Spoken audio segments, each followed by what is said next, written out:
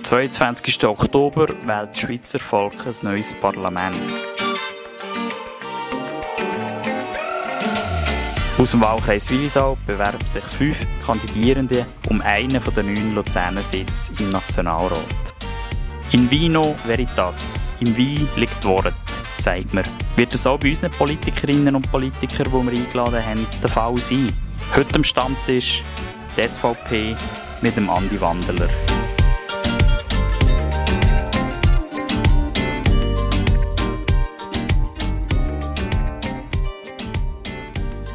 Guten Tag, Andi Wandeler. Guten Tag, Sind Sie am Stammtisch Ihr Bolter oder Zuhörer?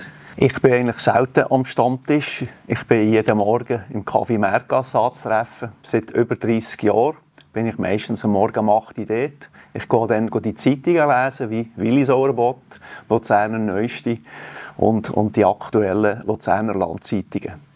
Äh, Polteri, ich tue sicher zuerst einmal zuhören.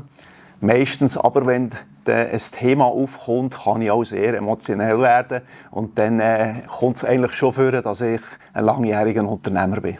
Haben Sie ein politisches Vorbild? Ja, das habe ich. Der Franz Grüter ist für mich eine Person, die souverän dasteht. Er ist in der Aussenpolitik, schon länger im Nationalrat. Und für mich ist es eine grosse Ehre, mit dem Franz Grüter jetzt in die Nationalratswahlen zu starten. Wir zusammen haben die Gewerbeschule in Willisau besucht, vor ganz, ganz vielen Jahren. Er hat Automechaniker, also ich habe Automechaniker gelernt und er Lastwagenmechaniker. Und wir haben beide unseren Weg im Gewerbe gemacht äh, und sind jetzt eigentlich in der politischen Phase wieder aufeinander getroffen. Sie haben sich im Frühling in der WB-Beilage für Kantonsratswahlen zu vielen Themen geäußert. Welche zwei Themen sind Ihnen am wichtigsten? Mir ist sicher die Wirtschaft wichtig, der Kanton Luzern mit seinen Unternehmungen und KMUs.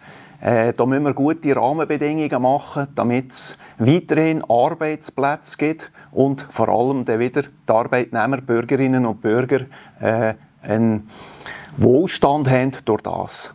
Weiter ist für mich äh, wichtig, dass äh, auch die Sicherheit und die Freiheit äh, dort zum Tragen kommt.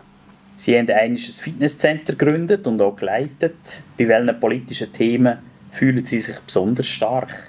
Das Fitnesscenter habe ich vor also 1987 eröffnet.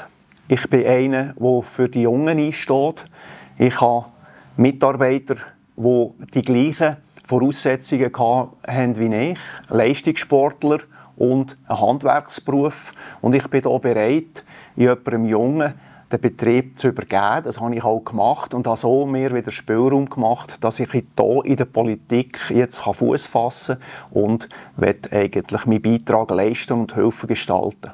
Was möchten Sie unbedingt gerne besser können? Jetzt in der politischen Phase hat man natürlich einen grossen Lernprozess, den man macht. Also wir sind, wir sind in anderen Gebieten. Ich bin jetzt in der Justiz und Sicherheit, in der Kommission. Es ist sehr interessant, jetzt auch in diesem Gebiet, nebst meinem Nebenberuf, den ich jetzt noch ausübe in der Sicherheit, ist das eine gute Ergänzung, wo ich mich weiter formen kann. Andi Wanderer, merci für das Gespräch. Danke euch vielmals.